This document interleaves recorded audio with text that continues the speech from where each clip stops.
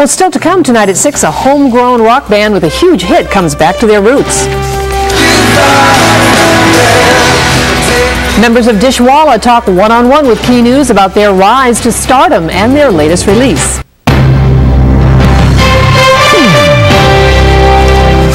Santa Barbara area is still pumping out some major musical talents. One of the biggest groups to emerge from the coastal enclave is Dishwalla. Oh, Dishwalla. that's right. Today they released their new CD and decided to kick it off right here in town.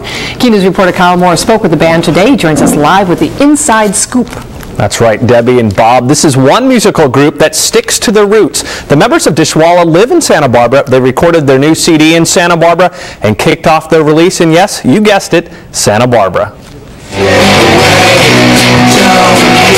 It's the hottest new release in Santa Barbara. The coastal town's homegrown band Dishwalla releases their second major label CD, and you think you know what life's about.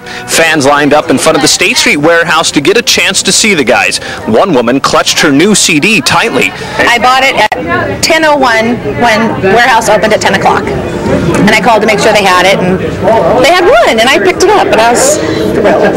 And the band is thrilled to release new songs. Their last CD, Pet Your Friends, was released three years ago.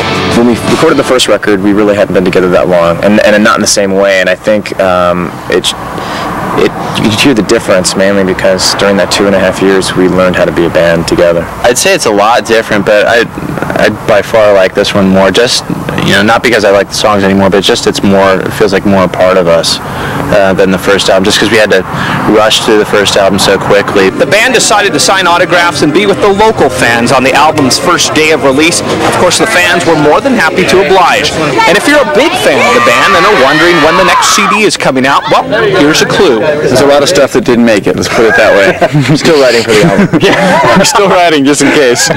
If their past performance is any indication, Dishwalla knows what life's about, and they'll be around for a long time.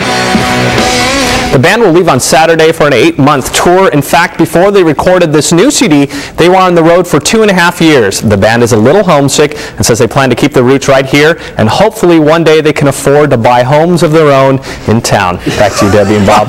Well, no doubt they'll be able to. They sound like they're on their way.